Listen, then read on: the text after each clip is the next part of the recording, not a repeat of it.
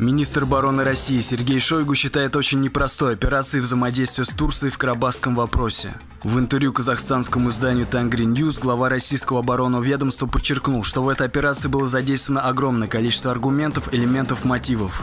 Последняя работа это, это безусловно, Нагорный Карабах. Это такая очень непростая операция, именно так я бы ее хотел назвать, и никак иначе, потому что в ней было задействовано огромное количество э, аргументов, э, элементов, мотивов.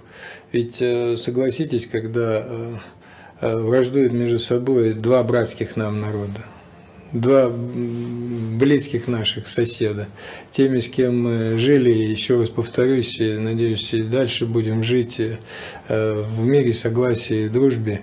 Шойгу также отметил, что Россия приложила титанические усилия для того, чтобы все договоренности Турции состоялись. К этому и надо было говорить и заниматься и с э, турецкими коллегами. Наш президент, который, поверьте мне, приложил титанические усилия для того, чтобы э, вот все это Э, состоялось. Причем уговаривать приходилось всех.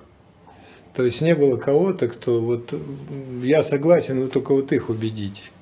Нет, э, убеждать всех, безусловно. И нам на своем уровне, и коллег, и министров обороны, мы говорили с нашими турецкими коллегами.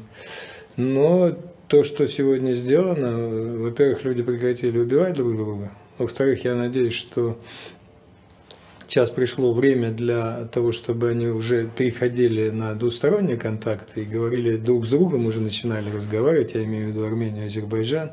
И здесь, конечно, многое зависит от э, отношений, которые сложились у России с Турцией.